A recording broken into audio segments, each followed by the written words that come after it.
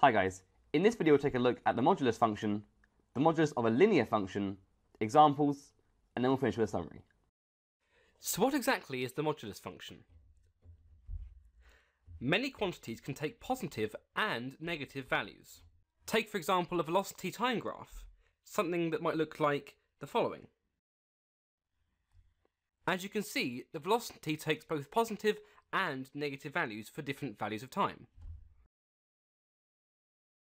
But we also tend to talk about the absolute value of a quantity. The absolute value just takes the positive version of whatever quantity you have.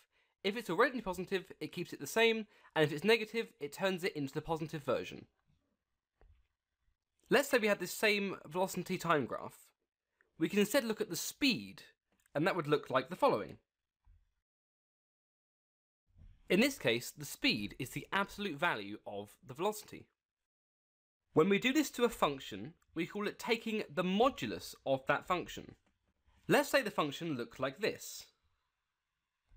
Then its modulus would look like the following. We need to develop a solid method for sketching and manipulating modulus functions. So how can we deal with the modulus of a linear function? Firstly, we have notation for representing the modulus of a function. We write the modulus of f of x as the straight bars around the f of x. The modulus of a function also has an algebraic definition. The modulus of f of x is the same as this following piecewise graph. We have that it takes the value of f of x if f of x is positive or equal to 0, or it takes the value minus f of x if f of x is negative. Notice that this definition always ensures that the modulus is positive. If f of x is negative, it takes the negative of that negative and therefore is positive. Now some functions are positive everywhere and are hence unaffected by the modulus function. Take for example the following quadratic notably the quadratic y equals x squared minus 2x plus 5. It has a y-intercept at 5 and a turning point at 1, 4. Because this function is positive everywhere, if we took the modulus, the graph would look the same. So in this case, the modulus of x squared minus 2x plus 5 is precisely the same as x squared minus 2x plus 5. Now let's consider the modulus of the most basic linear function. If we take the modulus of x itself, by definition, that's the same as x if x is greater than or equal to 0, or minus x if x is less than 0. If we sketch the graph of y equals x, we get the following relationship. However, the modulus makes this positive, and therefore the graph of the modulus of x looks like the following. It entirely overlaps with this positive part here, but over here, where the graph is negative, it actually reflects in the x-axis. So this orange line is the graph of y equals mod x. We say mod as short for modulus. All other moduli, i.e. the plural of modulus, of linear functions are graph transformations of the modulus of x, i.e. they will have the same shape. Let's say we had the following graph. This would be the graph of y equals the modulus of 2x minus 1. Notice that it has precisely the same shape as the original graph of y equals modulus of x. It has an x-intercept at 1 half and a y-intercept at 1. To graph these functions in general, we start by graphing the original function. So in this case, we're looking at the graph of y equals 2x minus 1. Of course, for this graph we have an x-intercept at 1 half and a y-intercept at minus 1. We can determine the new y-intercept by examining our graph or by looking at the modulus function. Here again we have the graph of y equals 2x minus 1.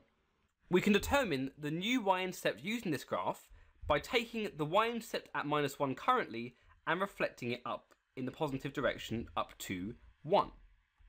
That would be the new y-intercept. Alternatively, we can just look straight at the modulus function. We're looking at the point when x equals 0. That is the definition of the y-intercept. Now, recall that we're looking to have the graph y equals modulus of 2x minus 1. Therefore, when x is 0, this disappears, and so we have the modulus of minus 1. Again, the modulus takes the positive value, and therefore this is just 1. In this process, we will have identified the x-intercept. This corresponds precisely to the x-intercept of the modulus function. Again, here we have the graph of y equals 2x minus 1.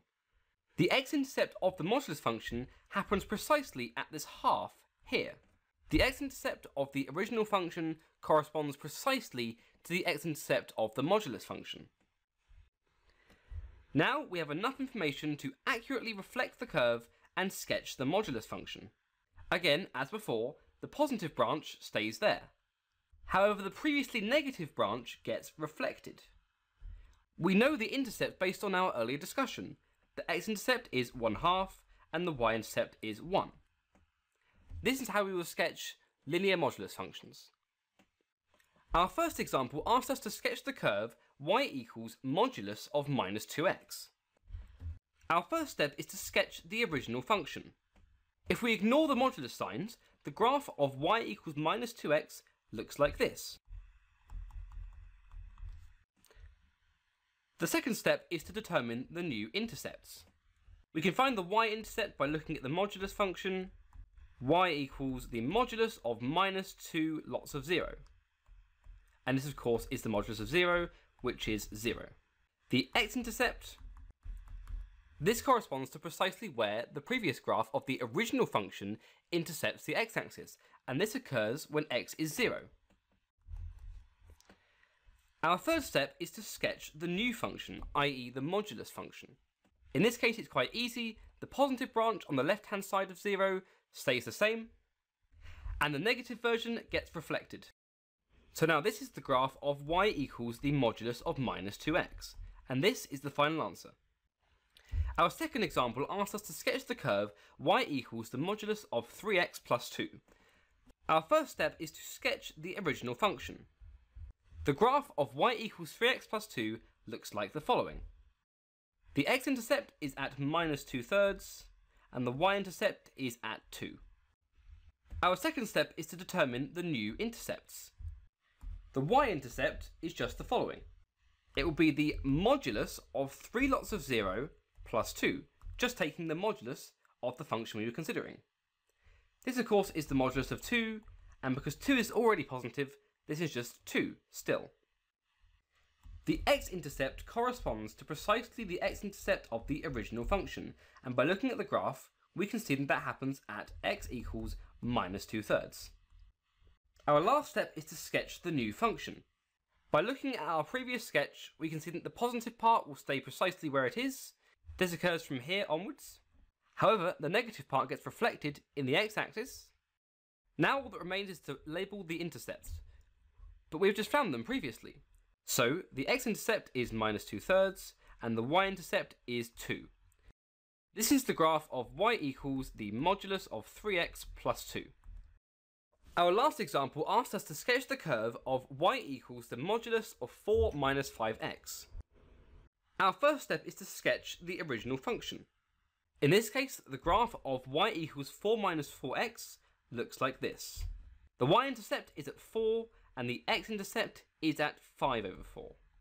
This again is the graph of y equals 4 minus 5x.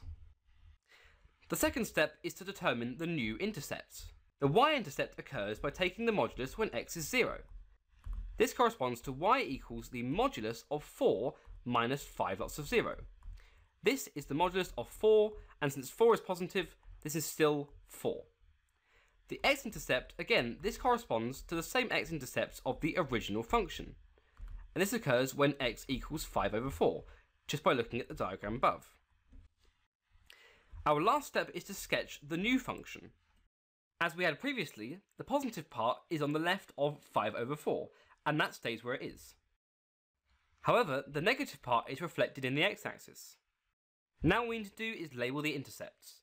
The x-intercept occurs at 5 over 4, and the y-intercept occurs at 4. This is the graph of y equals the modulus of 4 minus 5x.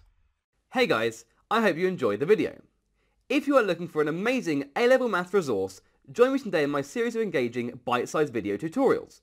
Just click the snap and smiley face, and together, let's make A-level maths a walk in the park.